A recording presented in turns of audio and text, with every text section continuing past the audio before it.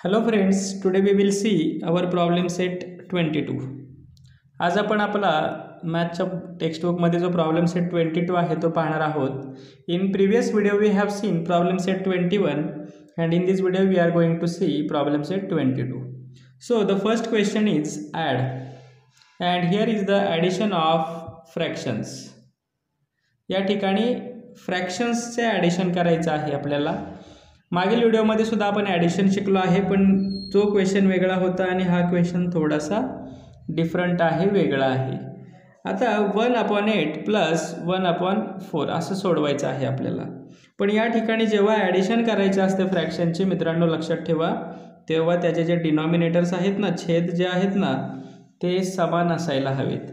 पण या ठिकाणी याचा डिनॉमिनेटर आहे एट आणि याचा डिनॉमिनेटर आहे फोर मग याचा आपण सहजासहजी सरळ सरळ ॲडिशन करू शकत नाही. मग काय करावं लागेल? आपल्याला त्यासाठी त्याचे डिनॉमिनेटर्स सेम करावे लागतील. आता या ठिकाणी डिनॉमिनेटर आहे एट आणि या ठिकाणी डिनॉमिनेटर आहे फोर मग फोरने सुरू होणाऱ्या टेबलमध्ये एट आहे. मग आपण पहिला जो फ्रॅक्शन आहे तो तसाच ठेवूया. प्लस आणि हा वन आपण फोर तसाच लिहूया. आता फोरला कितीने मल्टिप्लाय केल्यावर एट येतात? टूने मग वरतीसुद्धा टूने मल्टिप्लाय करूया. पहिला फ्रॅक्शन वन अपॉन एट तसाच प्लस टू वन जा टू आणि फोर टू जा एट आता मित्रांनो पहा फोर टू जा एट या ठिकाणी लिहिलं आणि टू वन जा टू या ठिकाणी लिहिले बरोबर? मग आता या दोघांचं आपण ॲडिशन समोरासमोर करू शकतो. कसं करू शकतो? याचा डिनॉमिनेटर एट सेम आहे म्हणून तसंच लिहिला आणि न्यूमरेटरमध्ये न्यूमरेटर मिळवायचा. वन प्लस टू किती होतात? थ्री मग त्याचा ॲन्सर किती येणार आहे?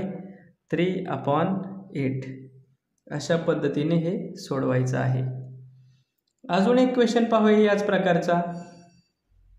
यात तुमच्या टेक्स्टबुकमध्ये जर तुम्ही पाहिलं तर असेच क्वेश्चन्स आहेत. Two upon twenty one plus three upon seven आता मित्रांनो या ठिकाणी जर तुम्ही पाहिलं तर याचासुद्धा या ठिकाणी सेवन आणि ट्वेंटी वन आहेत. मग सरळ सरळ आपण ॲडिशन करू शकत नाही. मग डिनॉमिनेटर सेम करूया. Two upon twenty one plus सेवनने सुरू होणाऱ्या टेबलमध्ये ट्वेंटी वन येतात. मग सेवनचा टेबल कितीपर्यंत म्हणल्यानंतर ट्वेंटी वन येतात थ्रीपर्यंत मग पहिल्यांदा खाली डिनॉमिनेटरला थ्रीने मल्टिप्लाय केलं. वरतीसुद्धा कितीने करायचं? थ्रीने मल्टिप्लाय केलं. टू अपॉन ट्वेंटी वन तसंच आला प्लस थ्री थ्रीचा नाईन सेवन थ्रीचा ट्वेंटी वन. मग मित्रांनो आता ॲडिशन समोरासमोर होणार कारण की डिनॉमिनेटर सेम झाले. Twenty one and twenty one सेमच आहे. नाईन प्लस टू किती होणार? Eleven eleven upon twenty one. अशा पद्धतीने हे सोडवायचे आहे. आता थोडंसं वेगळ्या पद्धतीचं गणित पाहूया. म्हणजे तुमचं कन्फ्युजन होणार नाही सोडवताना. या ठिकाणी क्वेश्चन आहे two upon five plus one upon three आता मित्रांनो इथंसुद्धा डिनॉमिनेटर सेम नाहीत आणि थ्रीने सुरू होणाऱ्या टेबलमध्ये फाईव्ह येत नाहीत. मग आपण काय करायचं? डिनॉमिनेटर सेम करण्यासाठी काय करायचं? टू अपॉन फाईव्ह तसंच लिहायचं इकडं प्लस वन अपॉन थ्री तसंच लिहायचं. इकडचा जो फ्रॅक्शन आहे त्याला इकडचा जो डिनॉमिनेटर आहे खालचा जो नंबर आहे त्याने मल्टिप्लाय करायचं वरती आणि खाली. इंटू थ्री इंटू थ्री इकडं सुद्धा काय करायचं? इकडचा जो फ्रॅक्शन आहे त्याला इकडचा जो डिनॉमिनेटर आहे त्याने मल्टिप्लाय करायचं. इंटू फाईव्ह इंटू फाईव्ह मग टू थ्रीजा सिक्स फाईव्ह थ्रीजा फिफ्टीन प्लस फाईव्ह वन जा फाय थ्री फाय जा फिफ्टीन पहा या ठिकाणी डिनॉमिनेटर सेम झालेत. फिफ्टीन फिफ्टीन मग काय होणार? फिफ्टीन तसाच लिहिणार आणि दोघांचं addition six plus five eleven अशा पद्धतीने हे सोडवायचं आहे. अजून एक क्वेश्चन घेऊया टेक्स्टबुकमधलाच two upon seven plus one upon two असा हा क्वेश्चन आहे बरोबर? तर याचे सुद्धा डिनॉमिनेटर सेम नाहीत म्हणून पहिला जो फ्रॅक्शन आहे त्याला इकडच्या डिनॉमिनेटरने मल्टिप्लाय करूया. इकडचा डिनॉमिनेटर आहे टू वरती आणि खाली टूने मल्टिप्लाय केलं. परत plus one upon two multiply by multiply by इकडचा डिनॉमिनेटर आहे सेवन सेवन टू टू जा फोर सेवन टू जा फोर्टीन प्लस सेवन वन जा सेवन टू सेवन जा फोर्टीन. आता डिनॉमिनेटर सेम झाले. तसंच लिहिला fourteen four plus seven eleven. अशा पद्धतीने यातला जो क्वेश्चन नंबर वन आहे तो आपण सोडवलेला आहे. याच्यात फिफ्थ नंबरचा एक क्वेश्चन आहे तो तुम्ही तुमच्या नोटबुकमध्ये सोडवा बरं का.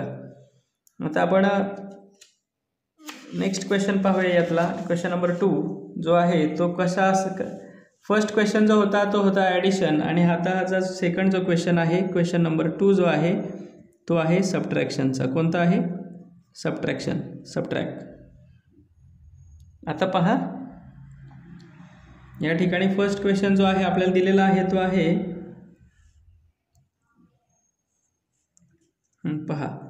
Three upon ten first question minus one upon twenty जसं ॲडिशन करताना डिनॉमिनेटर सेम हवेत तसे सबट्रॅक्शन करताना सुद्धा असायला पाहिजेत. मग याचं या ठिकाणी आहेत का या ठिकाणी टेन आहे डिनॉमिनेटर या ठिकाणी ट्वेंटी आहे. मग याचासुद्धा डिनॉमिनेटर सेम करून घेऊया. आता टेनने सुरू होणाऱ्या टेबलमध्ये ट्वेंटी येतात. म्हणून याला टूने मल्टिप्लाय केलं यालासुद्धा टूने केलं मायनस वन आपण ट्वेंटी तसंच ठेवला. थ्री टू जा सिक्स टेन टू जा twenty minus one upon twenty. आता या ठिकाणी डिनॉमिनेटर सेम झाले. मग डिनॉमिनेटर सेम आहे तसंच लिहून घेतला. ट्वेंटी ट्वेंटी तसंच लिहिला. आणि सिक्स मायनस वन सिक्समधून वन मायनस केला. किती आला? फाय मग ह्याचा ॲन्सर किती होणार? फाय अपॉन ट्वेंटी आता या ठिकाणी अजून एक क्वेश्चन पाहूया. Three upon four minus one upon two या ठिकाणी सुद्धा या क्वेश्चनमध्ये सुद्धा डिनॉमिनेटर सेम नाहीत. थ्री आपण फोर तसाच लिहिला आपण. मायनस कारण की टूने स्टार्ट होणाऱ्या टेबलमध्ये फोर येतात. म्हणून इथं टूने मल्टिप्लाय केलं इथं टूने केलं कारण की टू टूचा किती होणार? फोर होणार. Three upon four minus two one जा टू टू टू जा फोर डिनॉमिनेटर सेम झालेला आहे फोर फोर तसाच लिहिला. आता थ्रीमधून टू मायनस केला किती आले? वन आले. नेक्स्ट क्वेश्चन पाहूया.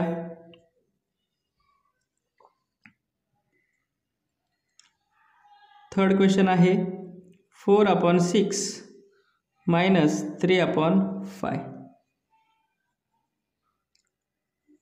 four upon six आणि आता सिक्सने सुरू होणाऱ्या टेबलमध्ये फाय नाही किंवा फायने सुरू होणाऱ्या टेबलमध्ये सिक्स नाही आहे मग डिनॉमिनेटर सेम करण्यासाठी आपल्याला काय करावं लागेल?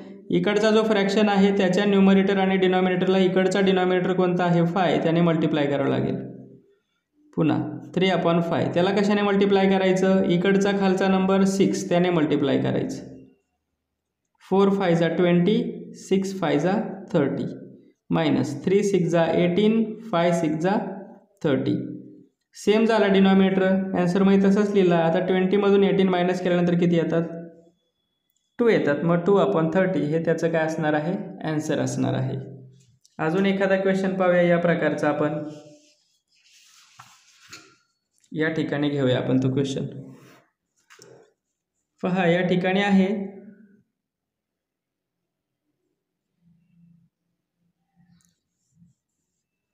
थ्री अपॉन फोर हा क्वेश्चन आहे फोर नंबरचा three upon four minus one upon two आपण हा तर सोडवलेला आहे आता. थ्री अपॉन फाय घेऊया. मायनस वन अपॉन सेवन घेऊया.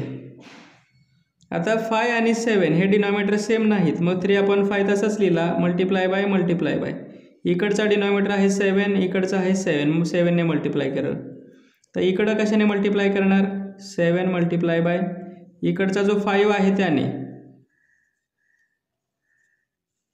थ्री सेवन जा ट्वेंटी वन फाय सेवन जा thirty five minus five one जा फाय सेवन फाय जा थर्टी फाय तर डिनॉमिनेटर फाईव्ह तास थर्टी फाय तसाच लिहिला.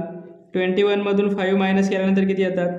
सिक्स्टीन हे झालं त्याचं ॲन्सर अशा पद्धतीने मित्रांनो तुम्ही हे सगळ्या सम सॉल्व करायचे आहेत. थँक्यू